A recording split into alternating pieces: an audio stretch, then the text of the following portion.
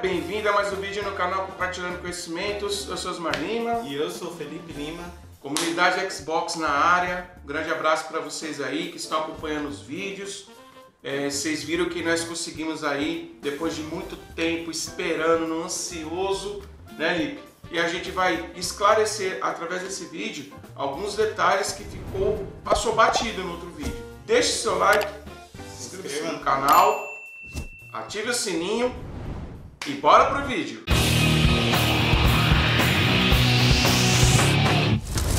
Now on Xbox. A gente pegou o Estelar, a gente foi olhar o pin header lá. E aí, como fala no próprio site da Make Megahertz, é só você pegar o chip e plugar. É plug and play. Porém, quando a gente foi olhar lá no, no pin header da placa, estava faltando quatro pinos. E quando a gente encaixou o chip, o videogame é, ligava e desligava. Ele não ficava funcionando. Por quê? Porque estava faltando conexão. O que acontece, pessoal? Há um, alguns anos atrás, a gente. Tem, tem um vídeo que a gente conta a história aqui. Vocês procuram aqui, tá um link aqui na descrição. O vídeo que a gente conta a história do nosso Xbox.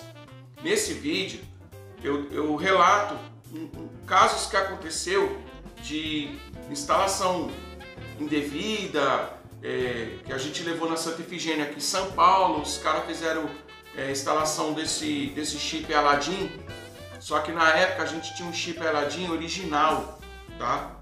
Original.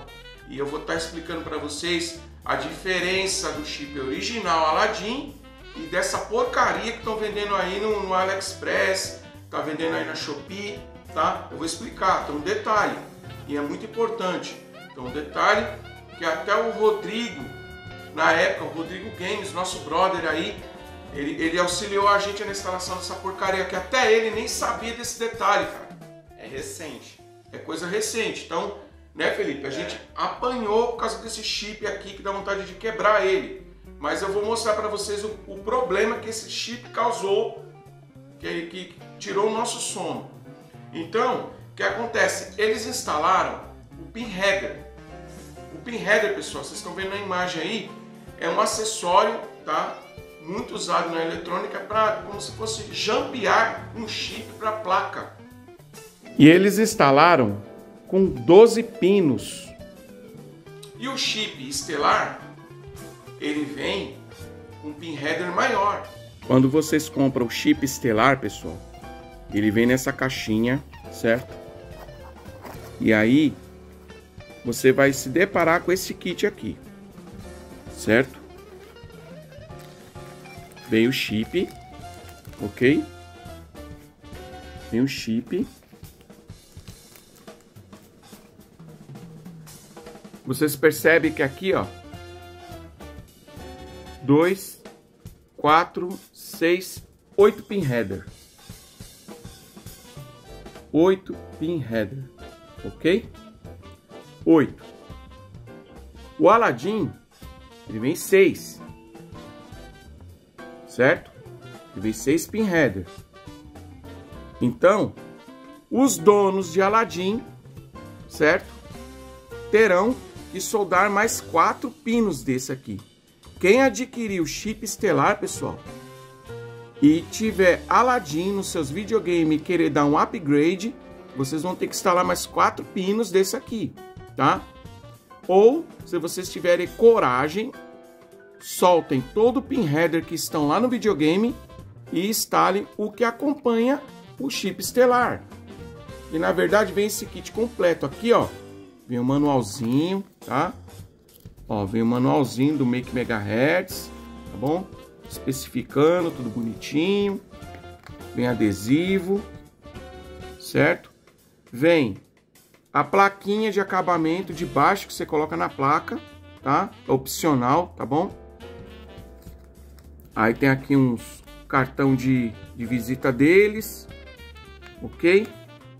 Esse aqui é o kitzinho que acompanha, tá?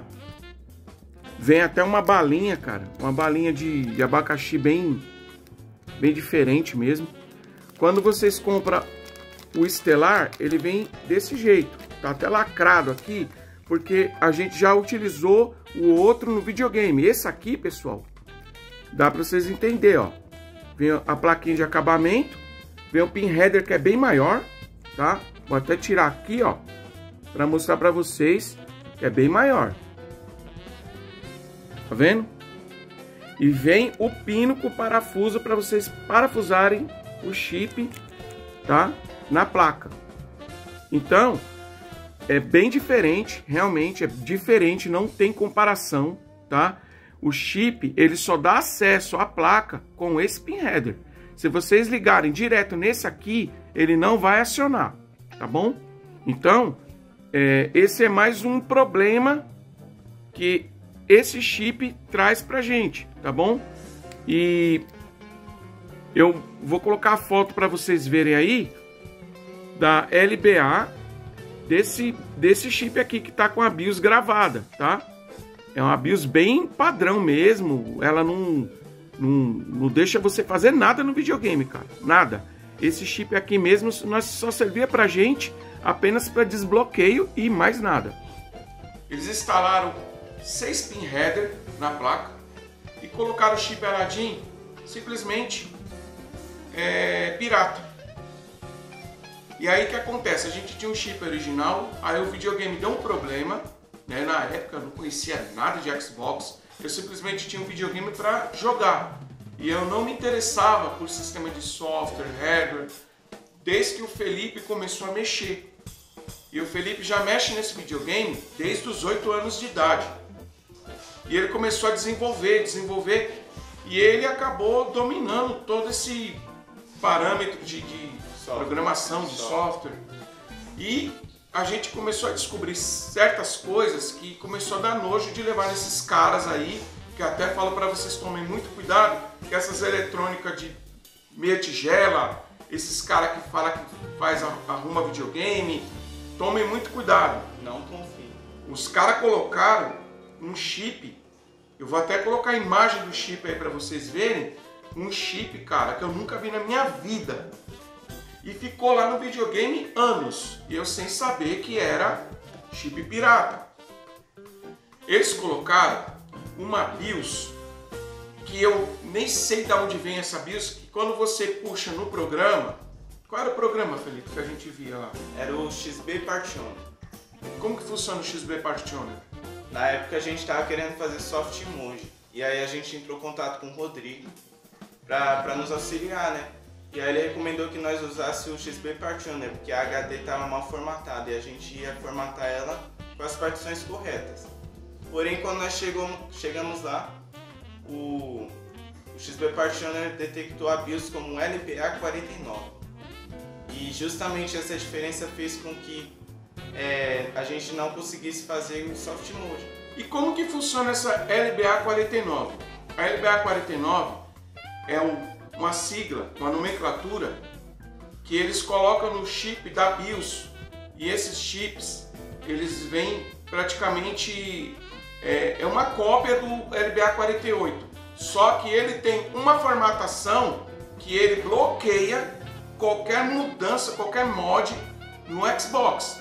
Então pessoal para vocês saberem qual é a LBA do seu chip Aladdin, é claro, tem quem tem chip Aladdin original vai estar tá fazendo o processo sem dor de cabeça. Tem Cerbius, né, Felipe? É, tem Cerbius, vocês podem flechear BIOS que não vai dar problema.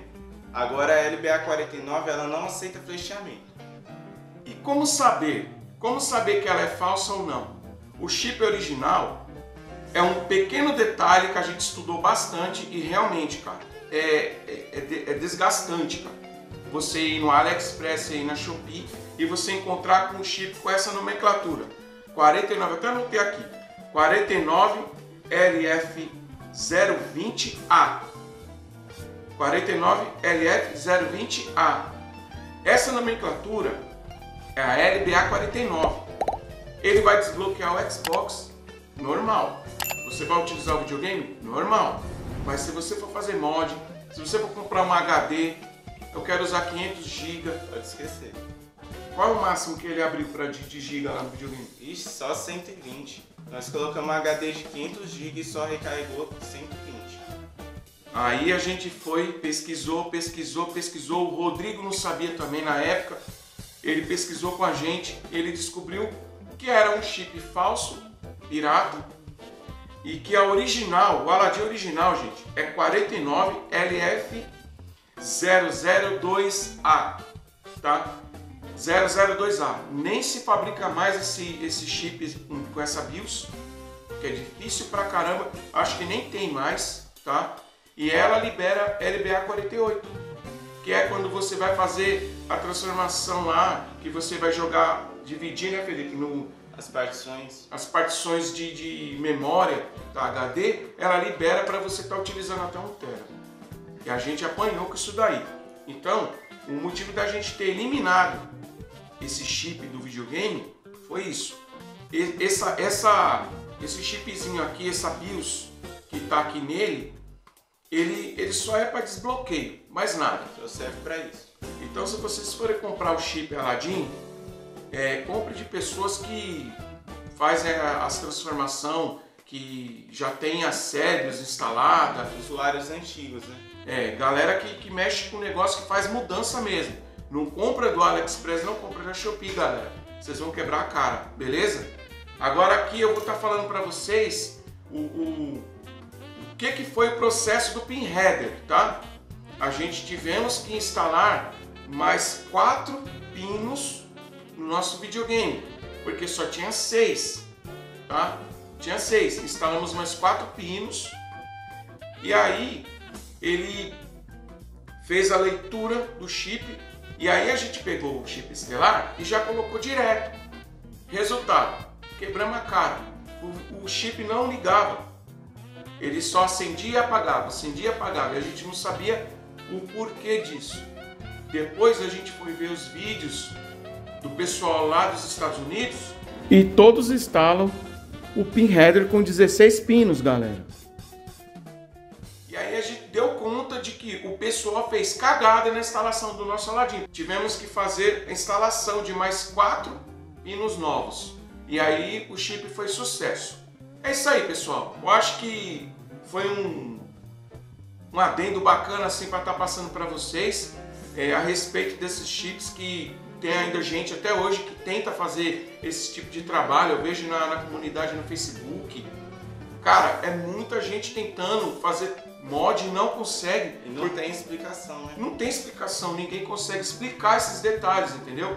O pessoal fala, não, faz soft mode. É, cara, a gente apanhou com o negócio de, de jampeamento de, de HD. O Rodrigo falava para fazer uma coisa, não dava certo. Nem o Rodrigo entendia o porquê que não estava dando certo com a gente. E nisso que era o chip, entendeu? Se esse vídeo ajudou vocês, deixa o like, inscreva-se no canal, ative o sininho. Vamos trazer muito mais coisas legais para vocês sobre o Xbox daqui para frente, que agora a gente vai ter muita coisa legal para estar falando aqui para vocês. Um grande abraço E fiquem com Deus.